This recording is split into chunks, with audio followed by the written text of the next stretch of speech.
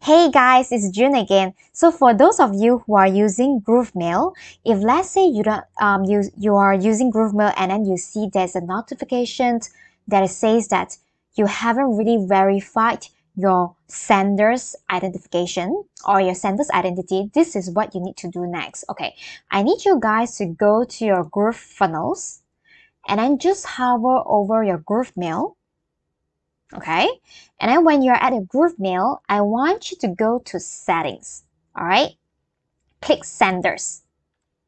And that is where that you're able to add a new sender. Like if let's say you do not have a new sender and then you haven't really verified your sender identity, you are not going to be able to send out um, any emails, right? So let me just like enter send sender identity can be like anything. So just put uh, if let's say it's just like one of the demo I want to put, right? So this is just the name. Let's say it's June Low. And then let's say um, sender's email, it's, uh, let's say it's called, what of my email I have? everything. Okay, admin. Hello at, okay, admin at junelow.co. I haven't created so, but let's see. Okay, reply e sender's email is where where you want to send from. And then reply email is let's say your um, your client when they receive your email, when they hit on the reply button to your email, what it will be the default reply to. So let's say usually it will be the uh, same one. So if let's say this senders um, it will be the default email um, that you'll be sending out all your emails, you can tick on on. Otherwise, you can just maintain as off, right? So if let's say there's any business info, you can just uh, click in here, okay? So and after that, you you just hit on save. Okay, uh, so it is required field. So you can just fill in unsubscribe. Company name, let's say is junelow.co. And address is, let's say, testing address, okay?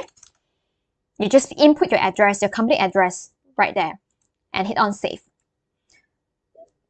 So when you're here, right, you guys probably will see that um, this is what we said just now. And then the verified here is no. And the default is no as well because I did not set it as my default message, right? So what you need to do right now for this email that I just created, right?